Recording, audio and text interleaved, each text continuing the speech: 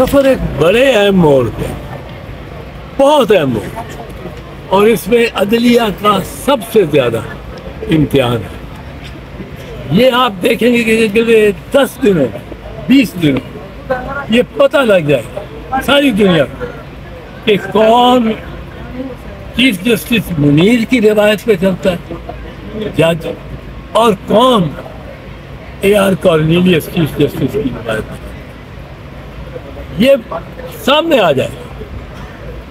अभी आ, कुछ बैलेंस सा लगता है और चीफ जस्टिस साहब इस तरह अध्ययन कर रहे हैं कि वो अनदेखे हाथों और बड़े भाई को कह रहे भाई संभालो ही संभालो।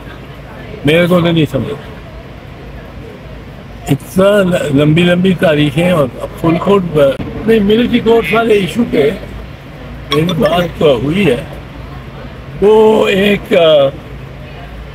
इतिहाद में चूँकि पार्टी और वो उस इतिहाद का पास रखना चाहते उन्होंने कहा था कहा हुआ है जरदारी साहब ने, शहबाज शरीफ को कि तुम्हारी गवर्नमेंट मैं नहीं गिराऊँगा। और इस पे वो अपना चल रहे मैं कम अज कम फौजी अदालतों गलत समझता हूँ और इसका कसूर हम हमें हो सर ये पावर पॉलिटिक्स के लिए कुछ भी कुर्बान किया जा सकता है?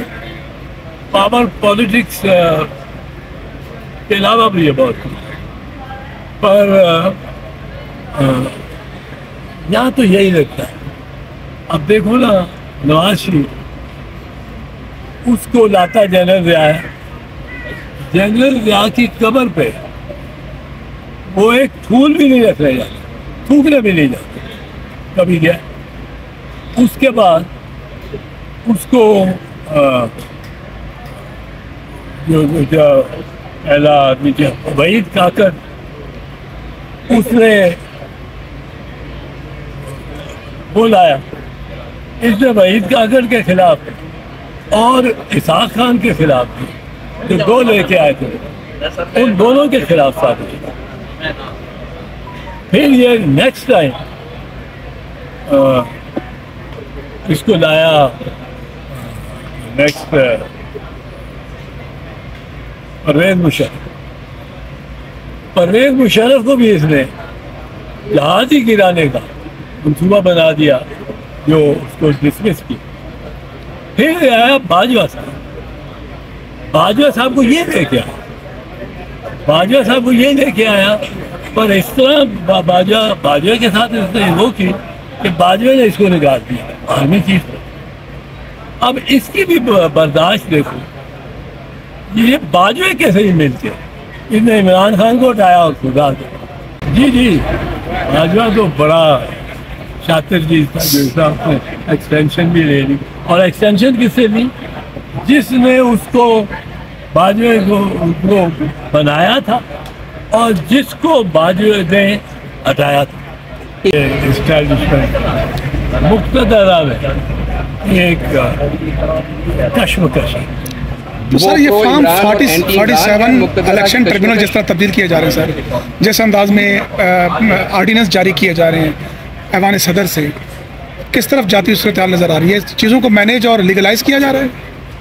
पार्लियामेंट के हाथ में कुछ नहीं पार्लियामेंट का जो सरबराह है, हाई में हो जाओ। पार्लियामेंट का जो सरबराह है, उसको पता ही नहीं होता कि उसका इंटीरियर मिनिस्टर कौन कि उसका काकर कौन या वाडवा कौन है, वाडा। वो, वो जो वज़ीर बन रहे हैं और सेनेटर बन रहे हैं। वज़ीर दाखिला वो पता ही नहीं उसको ना ही उसकी सुनते हैं। तो पार्लियामेंट तो बहुत ज़्यादा जलील हुकूमत किसकी है सर?